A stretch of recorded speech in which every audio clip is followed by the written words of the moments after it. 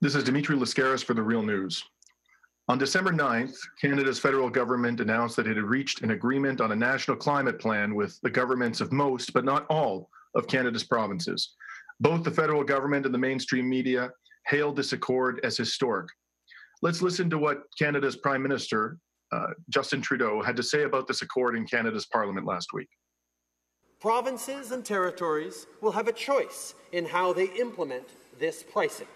They can put a direct price on carbon pollution, or they can adopt a cap and trade system with the ex expectation that it be stringent enough to meet or exceed the federal benchmark.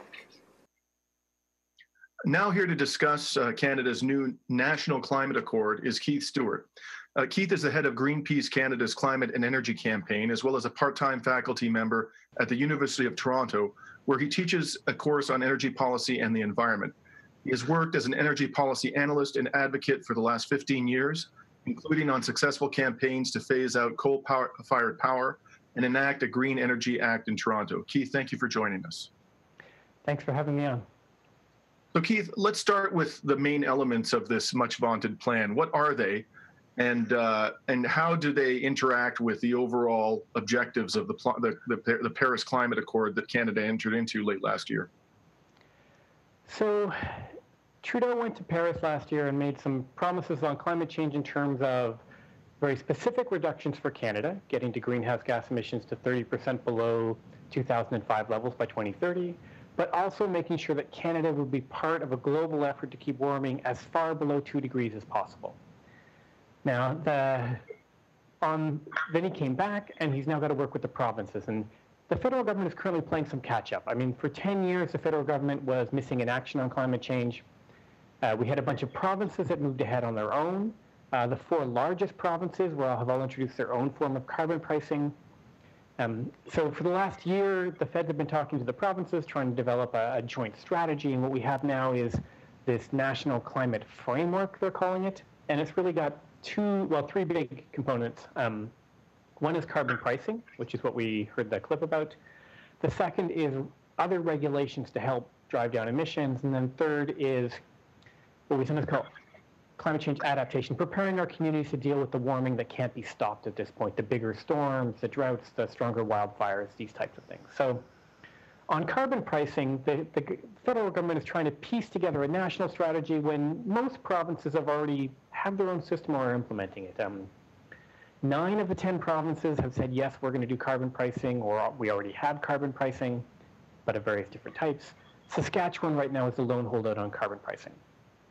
Um, so the federal government has basically said, well, we're going to bring in sort of a, a floor price, a, a basic system that everyone's going to have to match starting in 2018, and that's going to increase over time.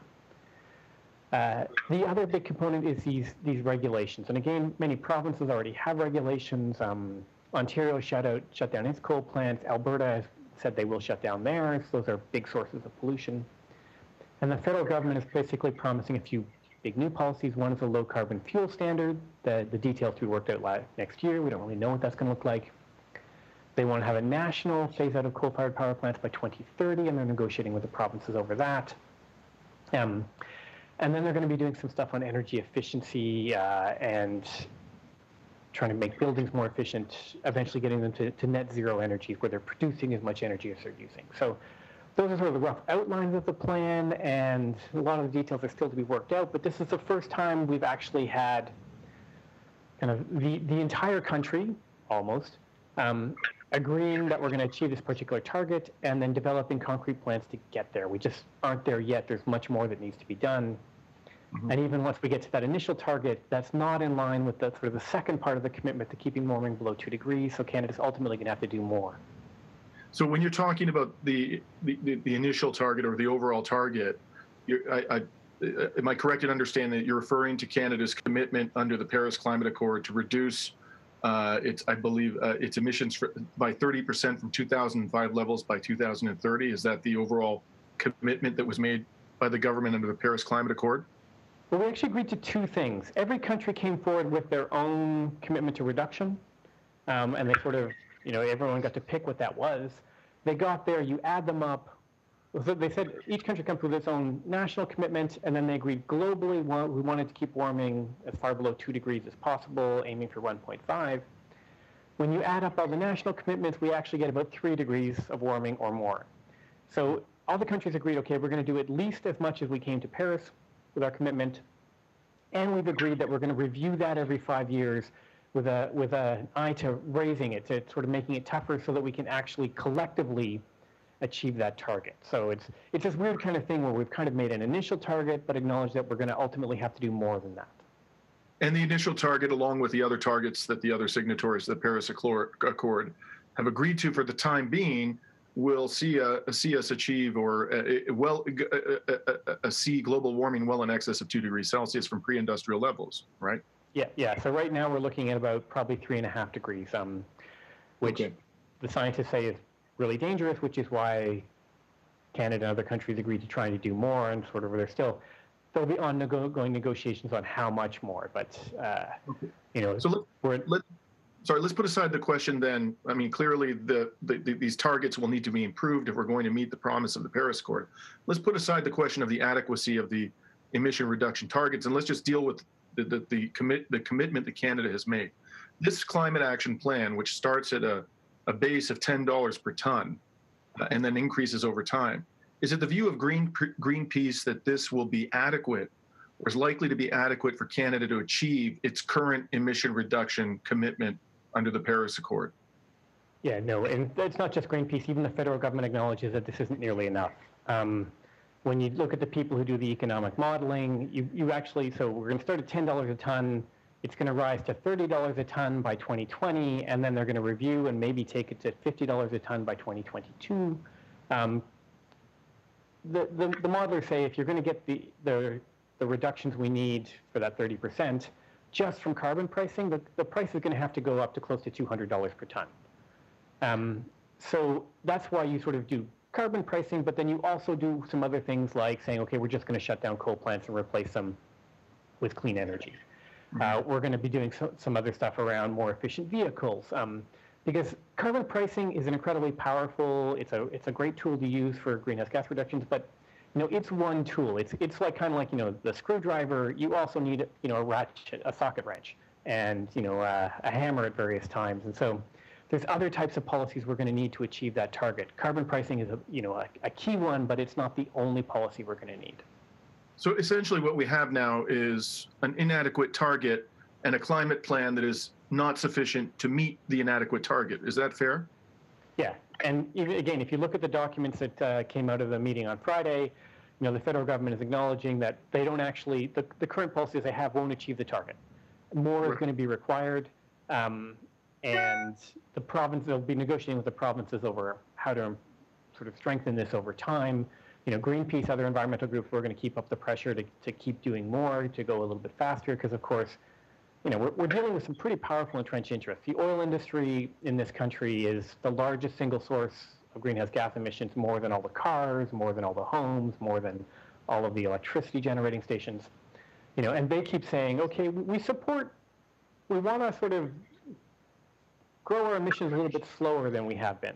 We're willing to do that, but we, we want to continue to grow.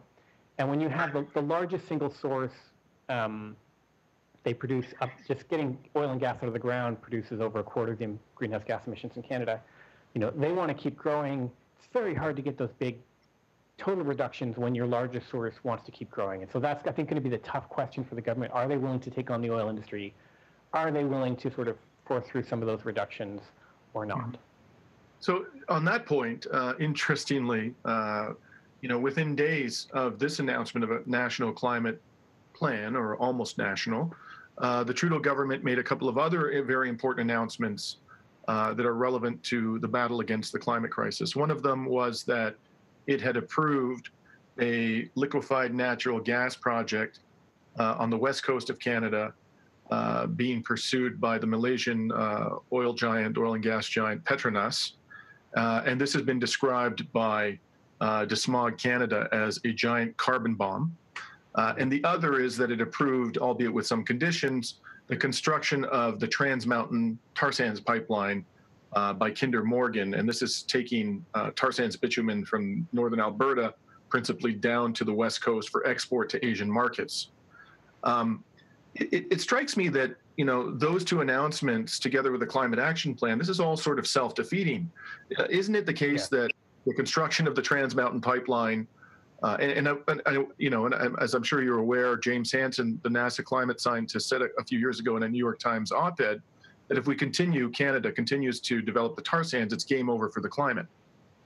Um, so how did these two projects, the project on the West Coast and the, uh, the Kinder Morgan pipeline, how do these square with the government's stated commitment under this national climate plan to achieve uh, an, an, admittedly inadequate reduction in Canadian emissions under the Paris Climate Accord?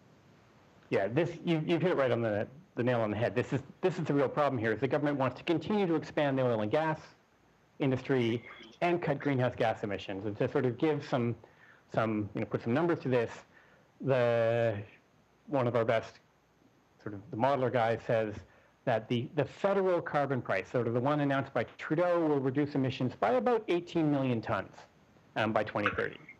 The when you look at the Environment Canada projections for the Kinder Morgan pipeline or for that LNG plant, you know, the LNG plant increases emissions by about 12 million tons. The Kinder Morgan pipeline enables upstream expansion in the, the, the tar sands, which is probably about 15 million tons.